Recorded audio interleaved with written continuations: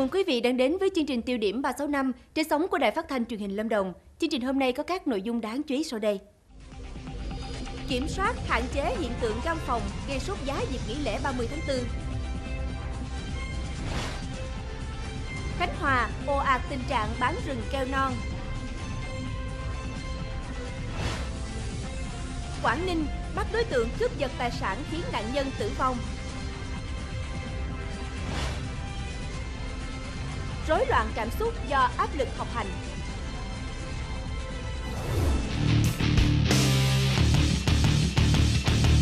Mở đầu bản tin hôm nay sẽ là thông tin Tổng cục Du lịch Bộ Văn hóa, Thể thao và Du lịch đã có văn bản gửi tới các sở văn hóa, thể thao và du lịch, sở du lịch các địa phương, công ty doanh nghiệp lữ hành về đảm bảo hoạt động, chấn chỉnh, kiểm soát việc găm hàng, gây sốt giá dịp nghỉ lễ 30 tháng 4 và Ngày Quốc tế Lao động 1 tháng 5 sắp tới đây.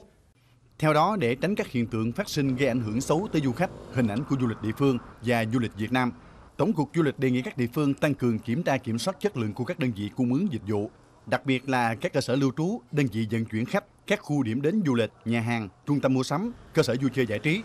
Đề nghị các địa phương cần quy động lực lượng để bảo đảm an ninh an toàn cho khách du lịch, kiểm tra trang thiết bị phòng cháy chữa cháy, phát hiện ngăn chặn và xử lý kiên quyết các đối tượng đeo bám gây phiền hà cho khách du lịch, không phân biệt đối xử với khách. Đối với những điểm khu du lịch đông du khách, các đơn vị chức năng cần bố trí nhân viên hướng dẫn hỗ trợ khách, gìn giữ vệ sinh, thu gom rác thải kịp thời. Tổng cục Du lịch đặc biệt lưu ý các địa phương cần tăng cường kiểm soát việc chấp hành quy định pháp luật về giá, tuân thủ nghiêm các quy định về đăng ký, niêm yết giá và bán đúng giá niêm yết. Huy động kinh phí từ các nguồn lực xã hội là một trong những mục tiêu quan trọng mà ban tổ chức Festival Biển Nha Trang Khánh Hòa 2017 hướng tới. Hiện Khánh Hòa đang tập trung đẩy mạnh công tác xã hội hóa cả về kinh phí lẫn các chương trình nghệ thuật để tổ chức các hoạt động trong khuôn khổ Festival Biển năm nay. Theo đó, tỉnh Khánh Hòa đã gửi thư mời tài trợ đến 29 doanh nghiệp đứng chân trên địa bàn tỉnh với tổng kinh phí đề nghị tài trợ là 26 tỷ đồng. Đến thời điểm này, tỉnh đã nhận được cam kết tài trợ của 5 doanh nghiệp với tổng số tiền trên 7 tỷ đồng. Năm nay, ngoài kêu gọi tài trợ bằng kinh phí, tỉnh cũng kêu gọi các doanh nghiệp tham gia xã hội hóa thông qua việc tự thực hiện chương trình nghệ thuật, góp phần làm đa dạng, phong phú hơn cho các sự kiện trong chương trình. Theo kế hoạch, Festival Biển Nha Trang lần thứ 8 sẽ chính thức diễn ra từ ngày 10 đến ngày 13 tháng 6. Trong chương trình sẽ có gần 50 hoạt động thuộc các lĩnh vực gồm biểu diễn nghệ thuật, triển lãm, thể thao, du lịch, giáo dục, ẩm thực, thương mại, với dự trù kinh phí khoảng 22 tỷ đồng.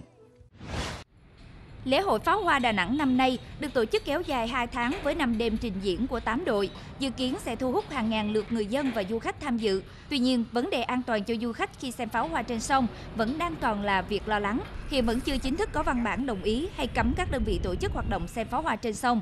Nhưng theo các chủ tàu du lịch, hoạt động xem pháo hoa trên sông Hàn là một trong những nét chính của du lịch Đà Nẵng. Việc có thể cấm tổ chức xem pháo hoa trên sông không chỉ ảnh hưởng đến kinh tế mà còn làm giảm bớt một sản phẩm du lịch thu hút du khách.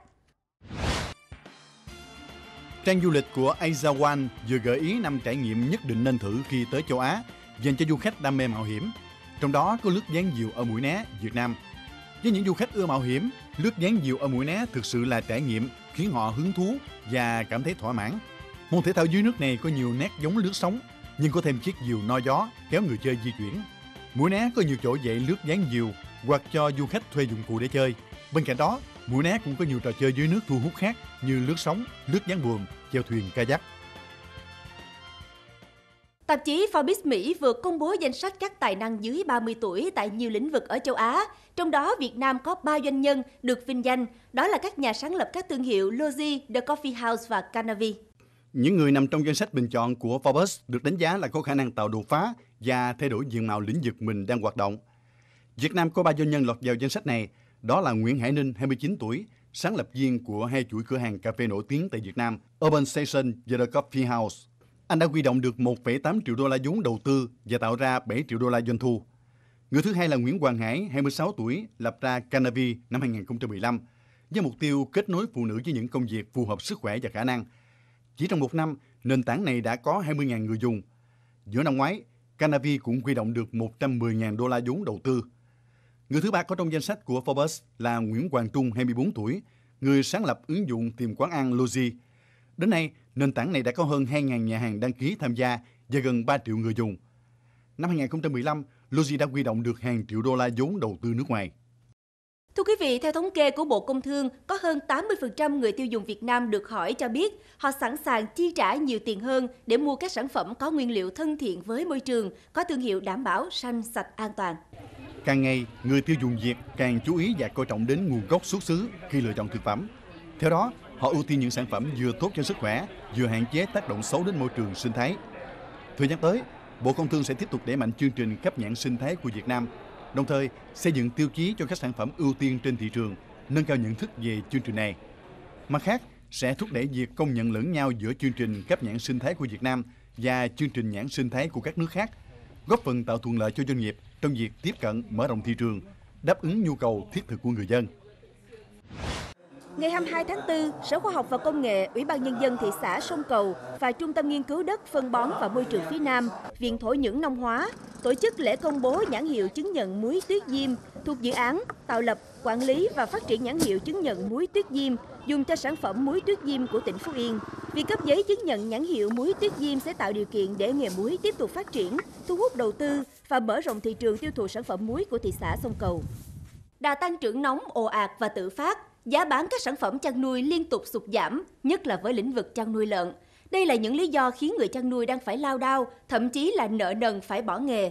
Vì vậy, Bộ Nông nghiệp và Phát triển Nông thôn đã đề nghị quy hoạch lại ngành này một cách thận trọng nhằm mục tiêu gắn chăn nuôi với nhu cầu thị trường, đảm bảo phát triển bền vững. Thị trường cung cầu của ngành hàng thịt lợn hơi hiện nay đang gây nhiều áp lực, không chỉ đối với cơ quan quản lý mà cả người chăn nuôi.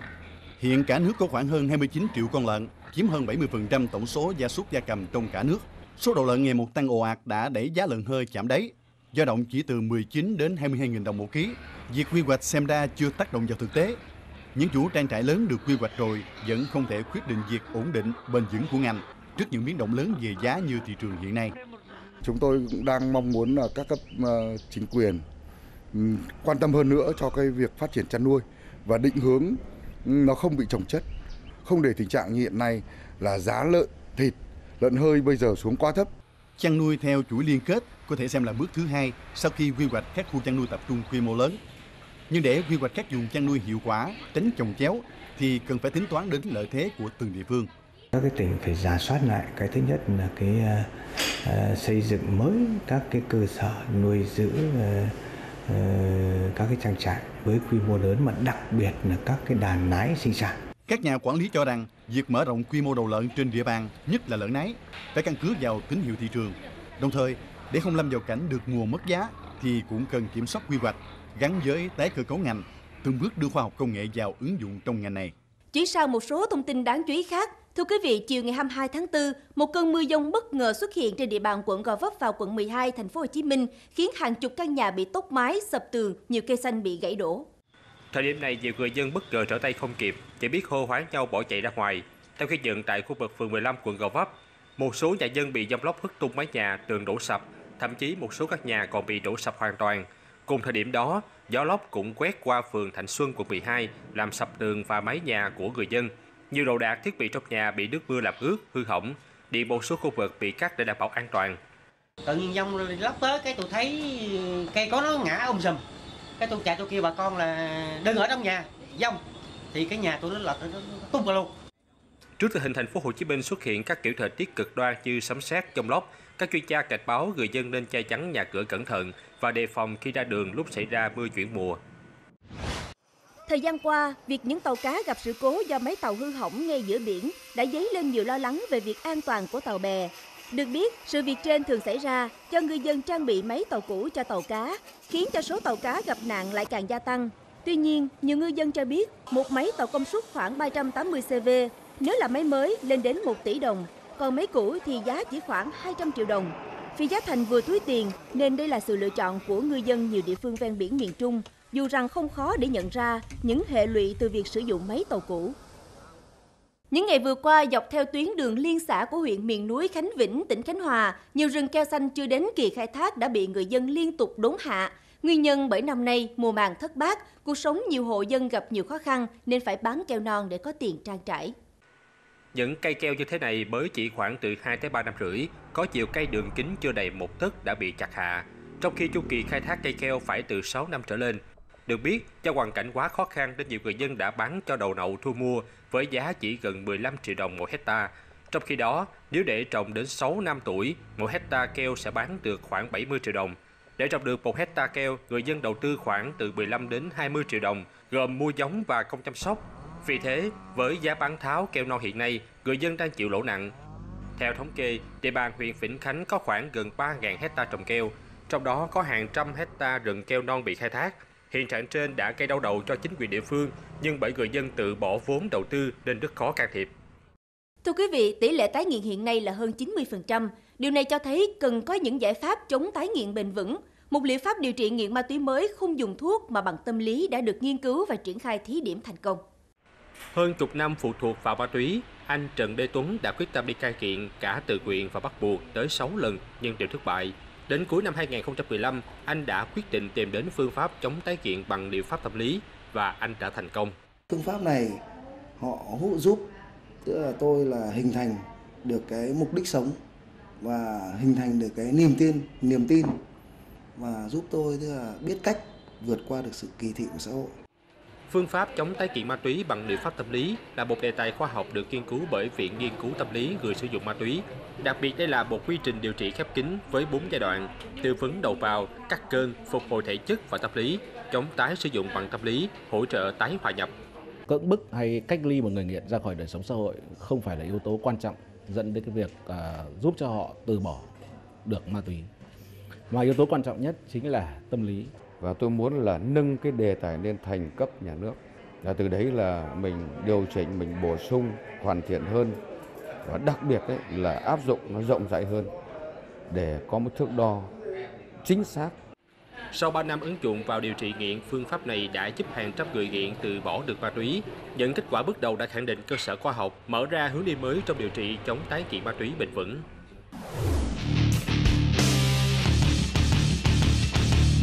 Theo chương trình là các thông tin về an ninh trật tự. Thưa quý vị, sau khi khẩn trương điều tra truy xét, ngày 22 tháng 4, Công an thành phố Cẩm Phả, tỉnh Quảng Ninh đã bắt giữ Phạm Thành Trung, sinh năm 1989, trú tại thành phố Cẩm Phả, là đối tượng đã cướp tài sản và gián tiếp làm nạn nhân tử vong trên đường Bà Triệu thuộc phường Cẩm Đông. Trước đó vào chiều ngày 20 tháng 4, chị Ngô Thị Hồng điều khiển xe máy đi trên đường Bà Triệu thuộc phường Cẩm Đông, thành phố Cẩm Phả thì bị một đối tượng điều khiển xe máy giật điện thoại rồi bỏ chạy về hướng phường Cẩm Sơn. Chị Hồng đã điều khiển xe máy đuổi theo đối tượng nhưng do không làm chủ được tay lái nên đã đâm xe vào giải phân cách và tử vong. Tài sản bị cướp là một chiếc điện thoại di động nhãn hiệu Samsung A8. Ngay sau khi nhận được tin báo, đội cảnh sát hình sự và đội điều tra tổng hợp đã tiến hành điều tra truy quét đóng đối tượng gây án. Đến 23 giờ cùng ngày, lực lượng công an đã bắt giữ được đối tượng là Phạm Thành Trung, đồng thời thu giữ chiếc điện thoại và đối tượng đã cướp của nạn nhân. Tiến hành khám xét khẩn cấp nơi ở của Trung, cơ quan điều tra đã thu giữ một xe máy và một số tăng vật liên quan. Hiện cơ quan chức năng đang tiến hành điều tra, mở rộng vụ án và xử lý đối tượng theo quy định của pháp luật. Công an huyện Rông Bách, tỉnh Đắk Lắk vừa cho biết đã khởi tố vụ án bắt giam một đối tượng đột nhập nhà dân, dùng xà beng đục kết sắt trộm gần 100 triệu đồng. Đối tượng bị bắt là Nguyễn Xuân Lộc, sinh năm 1985, ở xã Tân Tiến, huyện Rông Bách, tỉnh Đắk Lắk. Lộc từng có một tiền án 3 năm tù giam về tội cướp giật tài sản. Ra tù không chịu tu chí làm ăn mà tiếp tục sai vào con đường ăn chơi lêu lỏng. Để kiếm tiền tiêu xài, vừa qua hắn dùng xe máy chở theo hai cây xà beng, hai tủ viết, hai đũa bao tay, đi tìm nhà dân nào sơ hở thì vào trộm cắp tài sản. Khi đến địa phận thôn 6 xã Hòa An huyện Trong Bắc thì phát hiện nhà chị Nguyễn Thị Lan không có ai trông coi nên hắn đã đột nhập dùng xà beng cậy cửa rồi vào nhà tìm tài sản. Lúc này Lộc phát hiện trong phòng ngủ có một cái sắt. Hắn liền dùng hai cây xà beng cậy phá lấy trên 56 triệu đồng, 8 chỉ vàng 4 số 9 và một chỉ vàng tây. Tuy nhiên, khi hắn đang ôm số tiền vàng vừa trộm cắp được ra khỏi nhà, thì bị chị Lan đi đẩy về phát hiện, tri hô mọi người bắt giữ. Ngày 22 tháng 4, tại xã Hoa Thành, tổ tuần tra công an huyện Yên Thành, tỉnh Nghệ An đã phát hiện bắt quả tang một đối tượng có hành vi vận chuyển trái phép một lượng pháo hoa rất lớn. Đối tượng bị bắt là Phan Lê Đoàn, sinh năm 1994, trú tại số 4 xã Tân Thành, huyện Yên Thành, tỉnh Nghệ An. Qua khám xét, công an đã thu giữ 44 bánh pháo hoa loại 49 quả với tổng trọng lượng 83,6 kg. Theo lời khai của đoàn, đối tượng đã bốc nối mua pháo từ nước ngoài về để trữ hàng bán Tết kiếm lợi bất chính. Hiện công an huyện Yên Thành đang tạm giữ hình sự đối tượng và mở rộng điều tra vụ việc trên. Rạng sáng ngày 23 tháng 4, trong lúc mổ bò tại nhà, ông Trần Ngọc Châu, 43 tuổi ở khu dân cư số 13, thôn Lương Nông Bắc, xã Đức Thạnh, huyện Mộ Đức, Quảng Ngãi, đã bị điện giật và tử vong tại chỗ. Theo người nhà nạn nhân, thời điểm trên, ông Trần Ngọc Châu trong lúc xẻ thịt một con bò, có dịnh tay lên rào lưới sắt B40 tại khu mổ bò, thì có biểu hiện bị điện giật. Gia đình phát hiện kéo ra, nhưng phát hiện ông Châu đã chết tại chỗ. Qua điều tra, lưới sắt B40 có đường dây điện kéo ra phía sau, sử dụng tưới qua màu của ông Hồ Thanh Tiến liên kề với nhà ông Châu. Hệ thống dây điện đã cũ, đấu nối nhiều chỗ và tiếp xúc trực tiếp với lưới sắt B40. Qua kiểm tra cho thấy, dòng điện chạy qua rò rỉ nhiễm điện trên lưới sắt B40. Hiện vụ việc đang được công an huyện Mộ Đức điều tra làm rõ.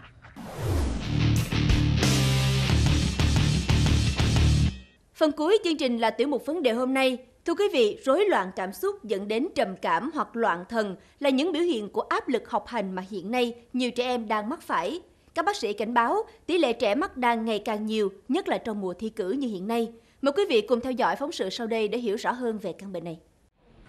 Run rẩy, lo âu và bồi hồi là những cảm xúc mà bệnh nhân 15 tuổi này thường xuyên gặp phải trong một thời gian dài. Căng thẳng và áp lực khi thường xuyên bị cô giáo nhắc nhở khiến em luôn rơi vào trạng thái rối loạn và không điều khiển được hành vi của mình. Cô biết là em học yếu, cô lúc nào cô cũng gọi em bảo. Cháu kiểu đi học kiểu nhiều áp lực ấy, ờ, bài học thì nhiều, các cô giáo kiểu cứ hay kiểu như là không có cái ấn tượng với cháu ấy. Theo các bác sĩ, số lượng bệnh nhi bị rối loạn cảm xúc và loạn thần do áp lực thi cử ngày càng tăng. Cứ 200 bệnh nhân được điều trị thì có 30 em bị mắc rối loạn. Theo số liệu của Viện Sức khỏe Tâm thần, trên 5 trường học lớn tại Hà Nội thì tỷ lệ trẻ có nguy cơ mắc bệnh rối loạn cảm xúc là 5%. Trong đó, 2% số học sinh cần phải điều trị tại các cơ sở y tế. Các chuyên gia cho biết, trẻ đang trong độ tuổi phát triển nên rất dễ bị tác động của môi trường bên ngoài. Khi cha mẹ và nhà trường tạo áp lực quá lớn với trẻ sẽ gây nên trạng thái tâm lý phản ứng dẫn đến rối loạn cảm giác. Những cái triệu chứng này nếu như không được điều trị thì sẽ dẫn đến các cái hậu quả tương đối là nặng nề về sau này. Nếu gia đình mà phát hiện được ra các cháu thì đưa lên đưa đến các trung tâm y tế. Các bác sĩ cũng cảnh báo các bậc cha mẹ và các thầy cô giáo cũng cần quan tâm đến cảm xúc của trẻ, không nên tạo áp lực quá lớn khiến trẻ dễ bị rối loạn cảm xúc dẫn đến loạn thần. Qua phóng sự trên, hy vọng các bậc cha mẹ và các thầy cô giáo cần quan tâm đến cảm xúc của trẻ hơn, không nên tạo áp lực quá lớn khiến trẻ dễ bị rối loạn cảm xúc dẫn đến loạn thần. Và đến đây thì thời lượng dành cho chương trình cũng đã hết. Cảm ơn quý khán giả đã quan tâm theo dõi. Còn bây giờ xin kính chào và hẹn gặp lại vào chương trình tiêu điểm 365 ngày mai.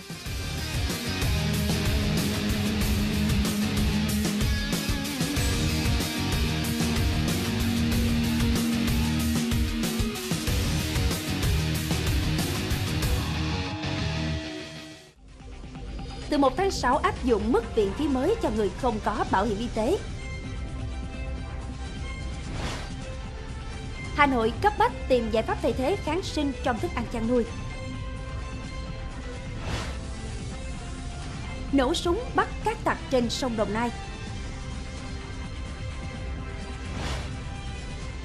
Người gánh nước thuê qua hai thế kỷ